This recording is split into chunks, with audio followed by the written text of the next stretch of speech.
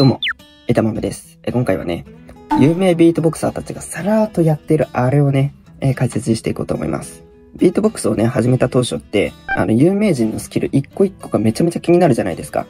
なんか、え、そこさらーっとやってるけどどうやってやってんのみたいな。で、そのスキルの中でも、いろんなビートボクサーたちが共通して使ってるさ、あの、ビートとビートのつなぎ目に使ってる細かい技術。あの、例えば、バスロールとかね。そういうものって、なかなかね、検索してもやり方出てこなかったりするんですよね。ま、バスロールは違いますけど。なのでね、今回は、えー、そういうものをいくつかね、えー、紹介していこうと思います。俺がね、ビートボックス始めたての時にはね、もうほんと気になってしょうがなかったことなんでね、この動画を見てくれてるうちの何人かは多分助かる動画になると思うので、ぜひ最後まで見ていってください。ということで、参ります。